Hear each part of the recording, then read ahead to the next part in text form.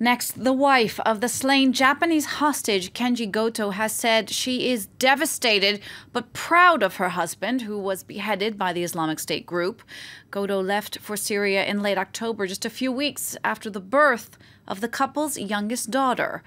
Since the release of a video showing the execution of Kenji Goto, Japan's prime minister has ordered an increase in security, but he himself has come under criticism for his handling of the hostage taking. Catherine Clifford explains.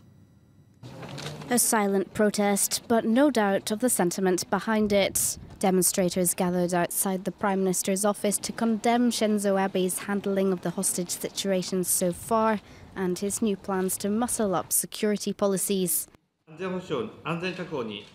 We will strengthen our security and tightly coordinate our efforts with the international community I believe this is the only way to counter terrorism. We shouldn't yield to the fear of terrorism after this incident.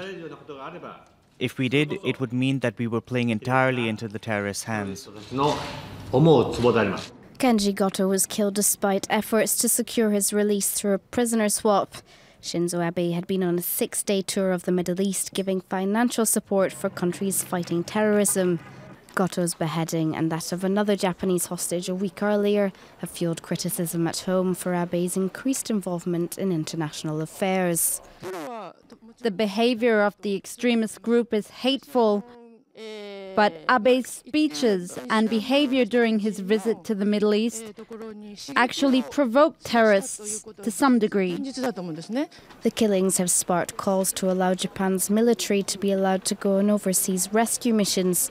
Under the country's post World War II pacifist constitution, this wouldn't be legal, but the government now plans to put moves to ease restrictions to Parliament.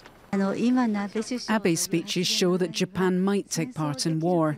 If they really want to protect the safety of the Japanese overseas, they should properly maintain the constitution.